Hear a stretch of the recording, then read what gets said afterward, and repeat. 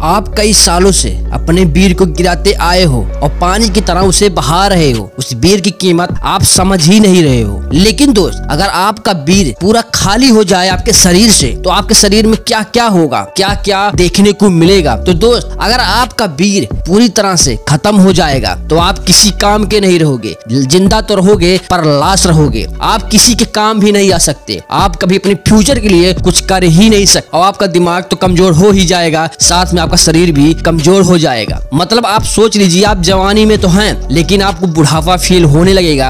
आपके बाल झड़ने लगेंगे, आपके आँख धसने लगेंगे, आपके गाल पसकने लगेंगे, आपके शरीर में से कंकाल सिर्फ़ दिखना शुरू होगा। तो सोच लीजिए, अगर पूरा भीड़ खाली हो जाए तो हम लोग किस तरह से बच सकते हैं? लेकिन अगर हम उसी बीज को अपने शरीर में भरते रहे भरते रहे तो जो चीज़ डैमेज होगी, वही चीज़ रिकवर होने लगेगी। मतलब सही होने लगेगी। लेकिन दोस्त, लोग, एक बूंद बीर की कीमत समझते ही नहीं। कि वीर वास्तव में होता क्या है? वीर वही होता है जो हमारे शरीर को ऊर्जा देता है, प्रतिदिन हमें एनर्जी देता है और लेकिन हम उसे बार बार निकालते आ रहे हैं। कुछ लोग तो इसी वीर की वजह से जल्द ही मर जाते हैं, मौत के कगार पर भी आ जाते हैं और कुछ लोग जवानी में ही बुढ़ा दिखने लगते हैं, उनके पास तमाम रोग होने लगते हैं वह समझ ही नहीं पाते हैं दवा कराने के लिए पैसे कहाँ से लाए। तो इन सब चीज़ों से उन्हें लड़ना पड़ता है जूझना पड़ता है, फिर भी ब्रह्मचर्य की कीमत वह समझते ही नहीं और वीर बचाने की प्रक्रिया वो शुरू ही नहीं करते। लेकिन जैसे जैसे वह वीर बचाते हैं, उनमें कुछ बदलाव आने लगता है। वह देखते भी हैं फ़र्क को,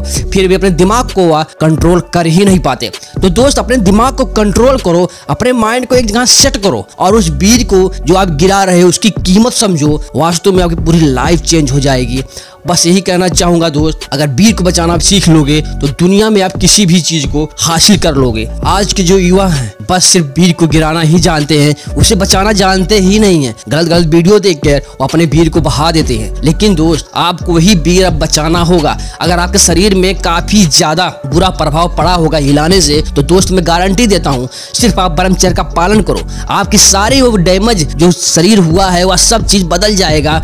आप निखरने लगेंगे, आप एक गुलाब की तरह खिलने लगेंगे। तो बस, आज से ही, अभी से ही, अगर आपने ब्रह्मचर्य पालन नहीं किया है तो तीस दिन करके देखो। अगर आप तीस दिन नहीं कर पाते तो इक्कीस दिन करके देखो। इक्कीस दिन नहीं कर पाते हो तो सात दिन करके देखो। सात दिन में इतना फ़र्क दिखाई देने लगेगा ना कि आप खुद ही कंटिन्यू करने लगेंगे। तो बस साफ़ तौर पर आपको ब्रह्मचर्य करना ही होगा, करना ही होगा दोस्त, क्योंकि इसके बिना जीवन अधूरा है। तो वीडियो अच्छा लगे तो लाइक करना शेयर करना, और जो भी ब्रह्मचर्य का पालन करना चाहता है, उनके पास वीडियो को ज़रूर पहुंचाना। तब तक लिए tata bye bye good luck